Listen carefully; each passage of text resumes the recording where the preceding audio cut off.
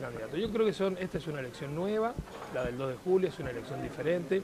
Si bien el 14 de mayo sirve para, para, bueno, para hacer algunas, algunas estadísticas, es una elección diferente. Vuelvo a repetir. ¿No lo toma como que? No, no lo tomo porque, eh, a ver, algo se puede tomar, pero no, eh, no, no va a ser determinante. Es una elección donde la gente resetea y va a votar su, candidato a, su, quien quiere de gobernador. La elección del 14 de mayo creo que se municipalizó. Al no estar, a la gente lo que más le interesa, me parece a mí, son los cargos ejecutivos, ¿no? más, más que los legislativos. Entonces, al no estar en juego la candidatura a gobernador, eh, fue a buscar a su intendente de cada departamento o a su intendenta.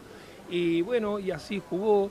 Creo que es muy difícil hacer un paralelismo de una elección con la otra. Eh, vuelvo a repetir, nosotros eh, bajo ese análisis, ¿qué análisis positivo hacemos? Que en la categoría de diputados proporcionales fuimos lo que es la categoría este, que está más cerca del- candidato a gobernador y que son cargos provinciales. Bueno, en esa categoría fuimos los que más votos sacamos. Entonces, en una elección normal, en una provincia normal, no es la nuestra, no es el caso, este, debería ganar quien más votos sacó. Siguiendo ese paralelismo, no- no- nos animamos a soñar, nos animamos a soñar con el triunfo, nos hemos preparado junto a Marcelo Rego para este gran desafío que es gobernar la provincia y tenemos mucha esperanza que el 2 de julio los sanjuaninos apuesten al cambio y vean en nosotros una fórmula realmente competitiva y capaz de sacar a San Juan adelante.